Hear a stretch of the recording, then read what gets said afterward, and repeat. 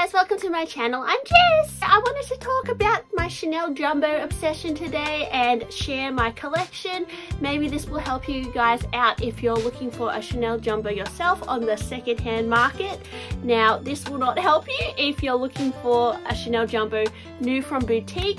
I think the current retail now of a Chanel Jumbo in Australia is 14,000 $300. I'll also put up the USD price, which is very expensive. And the classic jumbo has a double flap and yeah, it is gorgeous. I love the classic jumbo as well. I low-key would love to own the classic with the double flap. But I wanted to share with you guys the three jumbos that I have collected over the last few months or probably month. That's how crazy I am. So the first jumbo that I picked up pre-loved was this um, silver jumbo in lambskin and I picked this up for 3,300 or 3,400 Australian dollars. Now when I first got this it was a little bit worn and sad but I did kind of resuscitate it a little bit with some aloe vera leather conditioner. I'll link it below. And I also found that buffing it really helped. Now definitely if you want to buy a pre-loved lambskin jumbo, it's pretty hard to find one looking brand new. I mean you might be able to, but I find that with some of the lambskin leathers over the years they do kind of develop their own patina and they kind of start to get a little bit I don't know, like they age. So I feel like as time goes by, it kind of gets a bit more like dry and thick. So I don't know, just something I've noticed with the vintage bags as well. Now this particular bag is from 2010, so it is like 12 years old and I would say the leather on it is not perfect. It's still got some kind of shine and the quilts are very puffy. I do recommend this kind of a jumbo. If you find one in better condition, you might probably pay, like I, I would say that most commonly these kinds of jumbos pre-loved go for $6,000 and over. Um, so I got mine for a pretty good deal and I was okay with the current wear and tear. Now with this kind of jumbo, the grommets are kind of like this, whereas on the newer jumbos, the grommets will be more like this and they have the double flap. In terms of the hardware, the silver I actually think really contrasts and stands out on my outfit quite a lot. A lot of people will say that gold hardware, you know, it's a little bit more contrasting and really shows like it really I don't know, add something to your outfit. But I actually think the silver in this case, because the chain is so thick, it actually really stands out. And especially with what I'm wearing today because I have this yellow tone top the silver actually contrasts and pops really beautifully. So I think silver is really still quite a striking choice and it's a little bit more edgy than gold. I feel like gold has a little bit more of a mature and classic look. I have a bag organizer in here from KD Australia but I'm sure you could get one from Samorga or anywhere really that this kind of style is pretty popular now. The next jumbo I got is this um, vintage jumbo. This one is from 1997 so it is you know older than that other one. The difference with this one is is that it's got two faces. It chains they don't move so they just stay like that like you can't adjust the chain length at all. I also find that with this jumbo it actually sits a lot higher than the classic jumbo. So this one actually sits up here whereas the most jumbo bags will actually sit quite low depending on how tall you are as well. This one sits more down at my hip bone whereas this one actually sits at a more proportionate length. Now, if you did want this one to sit higher, you could definitely like open the inside and maybe tie a ribbon tie a ribbon here and like join it together so it's shorter. So that's not really an issue. And actually when i'm wearing like really oversized coats i don't mind the look of a longer chain. But i do kind of find that this is a little bit probably more of an ideal drop for me also, I've noticed that the chains on this one are a lot thinner than the classic jumbo chains, which tend to be a lot thicker than the medium size. So the medium size chains you can see are like this thickness and this is the jumbo which is the reason why i really fell in love with the jumbo as well because i just think that the chains are really epic and they're really comfortable to wear as well because they do have a lot of like leather intertwined between the links. This one this one i'm wearing today i'll show you guys what fits in this bag. Yeah this is one of my favorites. A lot of you guys kind of said to sell this one when i got my third one but I don't know, I really like the look of this one and it's like a really practical shape for me. Um, I did order a bag organizer from KD Australia. I tried to like custom make one, but it still doesn't fit in here. I don't know, I think because the shape is so weird. And it does have these weird little dents down here. I have seen videos of people like put their bags in pillowcases and like steam them to get all these little like creases out.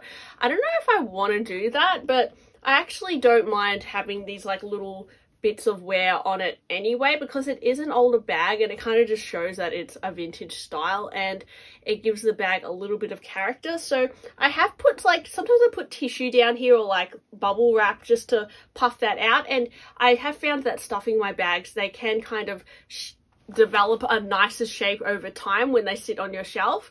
Um, but yeah, that's something you can probably fix at a bag spa or just by steaming the bag or something. But it's something that I haven't really tried to fix yet, um, those little dents there. So today, guys, I have in this compartment my little Twin Stars cosmetics case the jumbos literally they fit enough for every day for me. Like they won't fit a laptop. They might fit an, an ipad but i find like you know i like to carry these kinds of sizes of cosmetics cases and these definitely wouldn't fit in like a medium classic flap or a mini. So i think for day to day for me currently the jumbo is just like the perfect size. So i've got my chanel little egg in here. I have some natio lip gloss and I also have Clarins lip lip perfector. And I also put my keys in here just because I find that keys can sometimes scratch the interior of your bag. So I always like to keep my keys in some sort of like fabric pouch or something but today I'm just keeping it in here. So that fits really easily into this front pocket and all this stuff will feel, fit into the other jumbo bags I'm showing you guys today as well. I also have a little you know muesli bar if I get hungry. It's nice to have a little snack especially with a coffee. Instead of like buying a cookie you just like eat a little snack.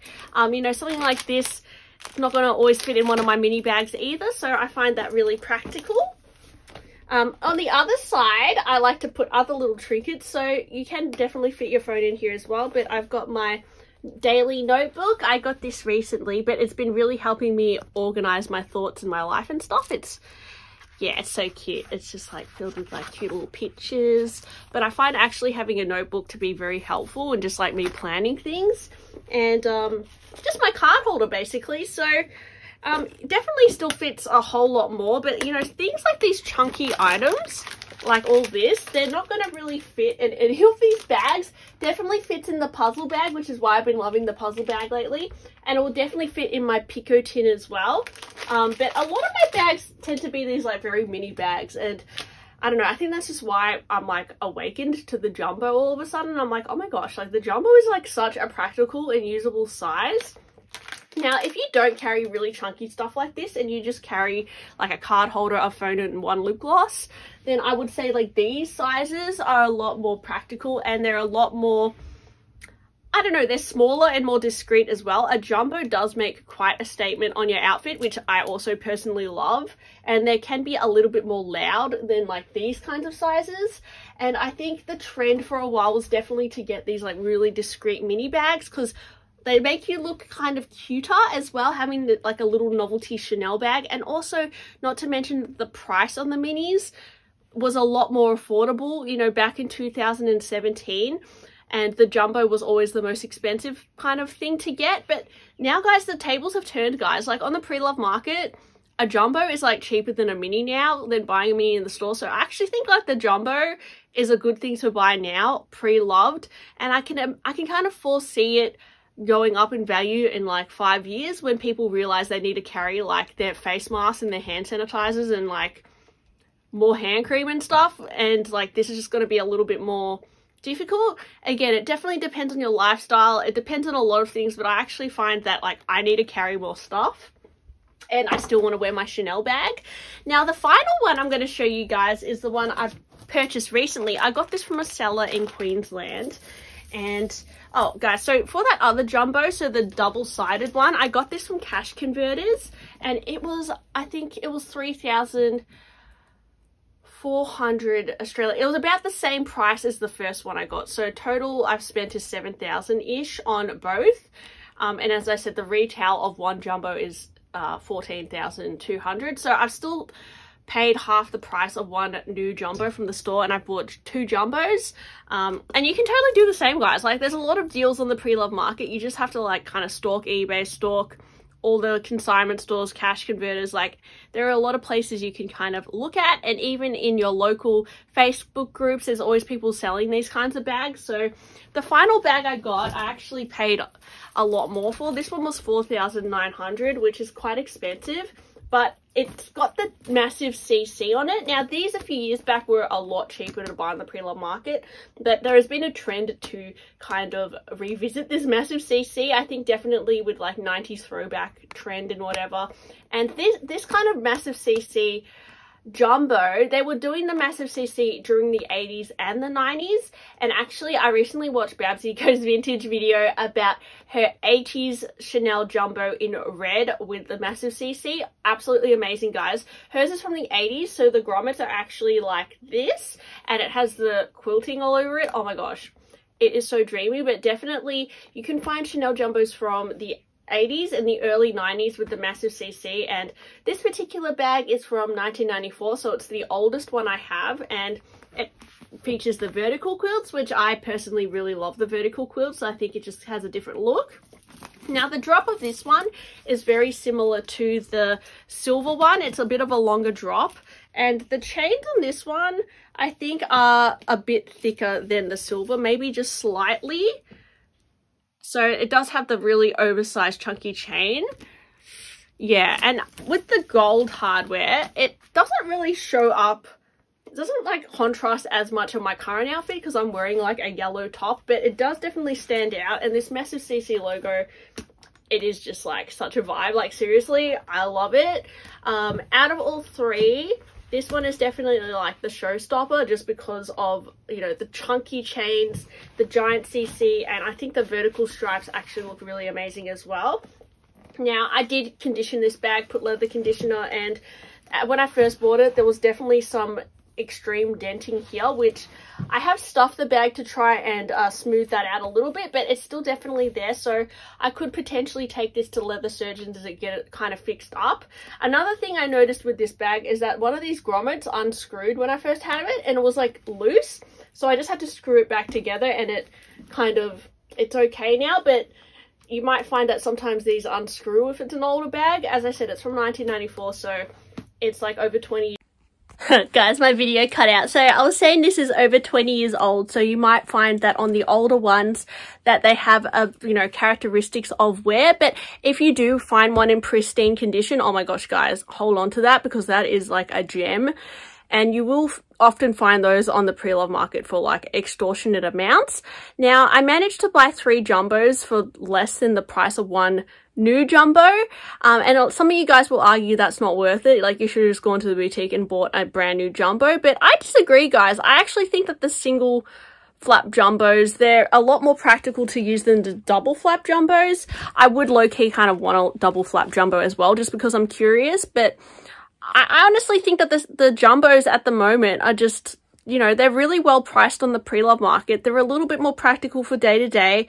And um, yeah, I hope you guys found this helpful if you are looking for a jumbo bag. There are a lot of different styles on the market. My friend Romina Rose May, um, she has an epic YouTube channel, guys. We met through YouTube. Uh, she really wants the extra large jumbo bag. Um, so she's been kind of like had that on her wish list and that is also one that I would love to get like the one even bigger than this. It's like got the quilting and it's it's like super massive. That one's also really awesome. You can definitely get one more caviar variations as well. Um, and you know all through the 80s and 90s there were different kinds of jumbo variations patent leather different colors. I mean it would be great to get like a red one or something but you know we'll see guys. I might collect more.